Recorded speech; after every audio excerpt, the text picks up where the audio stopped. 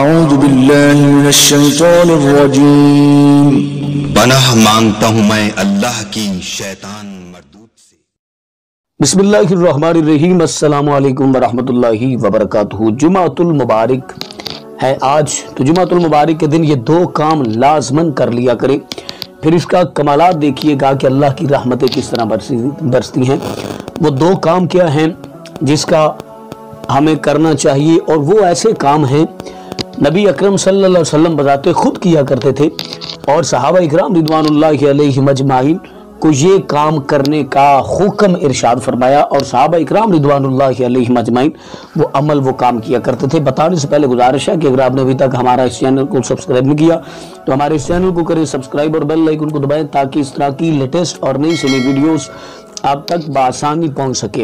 तो दोस्त मोहतरम, सबसे पहले चूँकि आज जुमातुल मुबारक है जुमातुल मुबारक को ईद का दर्जा दिया गया है। ये भी मुसलमानों की ईद का दिन की तरह खुशी का दिन होता है। और नबी अकरम सल्लल्लाहु अलैहि वसल्लम ने इरशाद फरमाया कि जो शख्स जुमातुल मुबारक के दिन जुमातुल मुबारक के दिन कसरत के साथ मेरी जात पर दरूद सलाम पढ़ता है ना तो वाजबत लहू शफाती उस शख्स की शफात करना मैं मोहम्मद पर वाजिब हो जाती है। तो हमें चाहिए कि जितना हो सके, जितना हो सके नबी पाक सल्लल्लाहु अलैहि वसल्लम की ज़ात अकदस पर दरूद सलाम पढ़े। एक काम तुझे और दरूद पाक के बारे में नबी सल्लल्लाहु अलैहि वसल्लम ने यह भी इरशाद फरमाया कि जो शख्स एक मरतबा मुझ पे दरूद सलाम पढ़ता है, अल्लाह ताला उस पर दस रहमतों का नजूल फरमाता है और दस दर्जात बुलंद फरमाता है और उसके दस गुनाहों को माफ़ फरमाता है और दस नेकियाँ अता फरमाता है। सुबहान अल्लाह ये ऐसा अमल है कि साहबा इकराम रिदवान ने भी नबी करीम अलैहि वसल्लम की ज़ात अकदस पर दरूद सलाम पढ़ा है। और फिर नबी करीम अलैहि वसल्लम की बारगाह अकदस में जिब्राइल अमीन हाजिर हुए। तो मेरे करीम आका वसल्लम ने मिंबर शरीफ की पहली सीढ़ी पर कदम रखा तो फरमाया, आमीन। दूसरी पर कदम रखा तो फरमाया, आमीन। तीसरी पर कदम रखा तो फरमाया, आमीन। तो साहबा इकराम रिदवान मजमई ने अर्ज़ की कि, या रसूल वसल्लम आज तो आपने एक अजीब अमल किया है कि पहली सीढ़ी पर कदम रखा है तो फरमाया है आमीन। इसकी वजह क्या है? फरमाया नबी करीम वसल्लम ने शाह फरमाया कि हज़रत जब्राईल सलाम मेरे पास अभी अभी तशरीफ़ लाए। उन्होंने कहा कि हलाक हो जाए वो बंदा जो अपनी ज़िंदगी में बूढ़े माँ बाप को पाए और उनकी खिदमत न कर सके।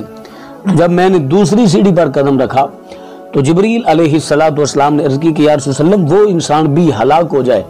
जिसके सामने आपका ज़िक्र किया जाए और आप सल्लल्लाहु अलैहि वसल्लम की ज़ात अकदस पर दरूद सलाम ना पड़े तो मैंने कहा आमीन।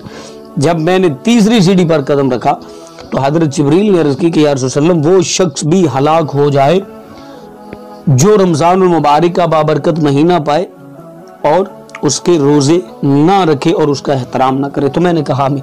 एक काम तो आपने ये करना है कि नबी करीम वसल्लम की ज़ात अकदस पर ज़्यादा से ज़्यादा दरूद सलाम पढ़ना है। और दूसरा काम यह है कि आप जुमातुल मुबारक के दिन लाजमन गुसल किया करें।